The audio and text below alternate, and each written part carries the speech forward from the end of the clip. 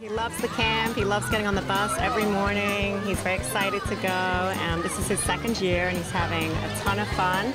Especially loves the soccer and the basketball.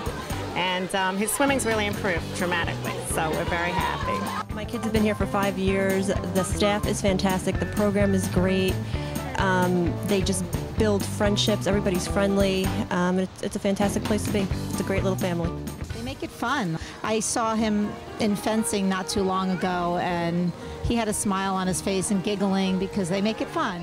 One of the greatest things about Buckley is the amount of free choice that each child has, and that they can pick and choose their workshops and what it is they love to do. And every year that my son has been here, he has progressed in each of his workshops and has done more challenging activities.